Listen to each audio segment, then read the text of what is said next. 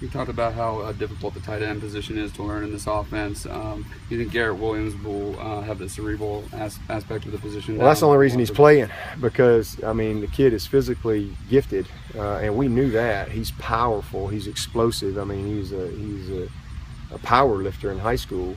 Uh, but you just never know till you start coaching guys how what kind of aptitude they have from, from taking it off the, the out of the meeting room to the practice field and executing it at the tempo that we play at, and that's what we've been just blown away by. I mean, very, very, very few mistakes. Uh, so this is a kid that has put the work in. You know, you, you, get what you what you sow. You know, the old saying. He's put that work in, and he's reaped the benefits. He came into camp very well prepared. He put all the time in this summer learning, studying, getting with older guys, and uh, and, and it showed up in practice. So really, uh, really, we're really pleased with him, and he he's he brings a little something different to the group. Uh, so we're, we're really happy with that whole group. We think we got a special group of tight ends, and um, you know he, that he's shown he can help us win this year.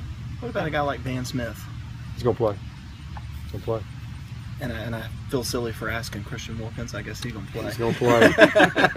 He's gonna play a lot. yep. This this might sound crazy, but Cain, just given the depth that you guys have at receiver, Oh no, he's got to play. We need him to play. He's he's he's gonna be.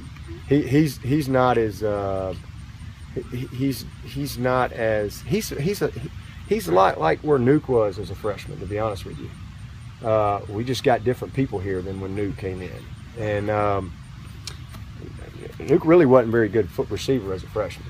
He really had to buy in. He was weak. He had a lot to learn fundamentally, technically. He just had freaky ball skills.